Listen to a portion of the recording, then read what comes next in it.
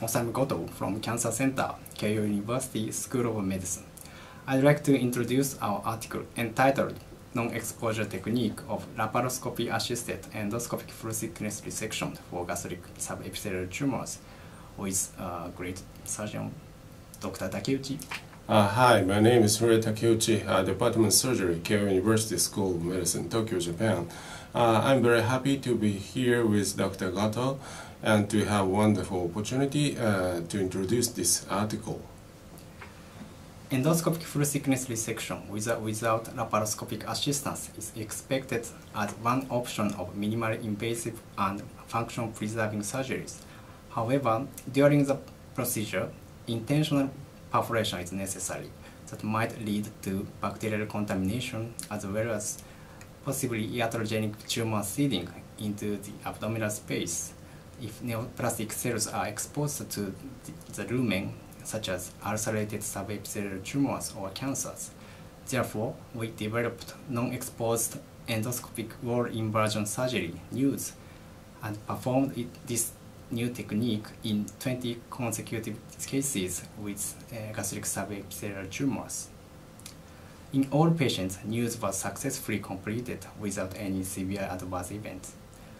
The procedure time was about 3.5 hours, and they were discharged about one week after the, the operation.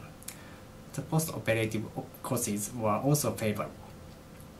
In this study, we demonstrated the feasibility and safety of NEWS in gastric subepithelial tumors regardless in ulcerative findings. Now we are applying this promising technique to possibly node positive early gastric cancers by combining it with sentinel node concept. Dr. Takeuchi, could you tell us what's sentinel node navigation surgery and the future perspectives of NEWS for gastric cancers? Yes.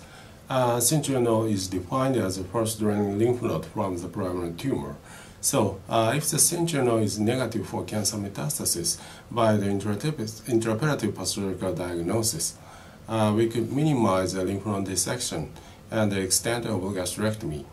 So far, uh, we have reported the acceptable accuracy of sentinel mapping for early gastric cancer in the multicenter prospective trial.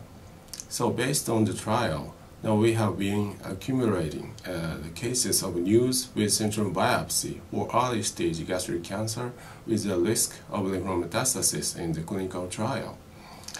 The combination of NEWS with sentinel biopsy is expected to become a promising, ideal, uh, minimally invasive, function-preserving surgery to cure cases of clinical N0 early stage gastric cancer. Thank you for your kind attention.